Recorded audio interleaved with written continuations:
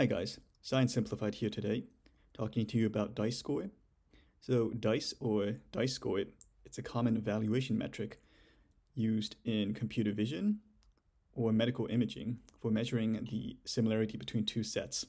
So here we have the formula. It's very simple. You have the overlap between sets A and B multiplied by 2 divided by A plus B and this will give you a score of 1 if you have perfect uh, overlap between these two sets, and a score of 0 if you have no overlap. And the most common application for this is brain segmentation.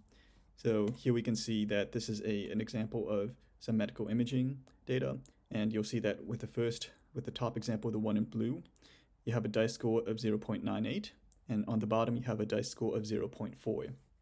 So why is this significant?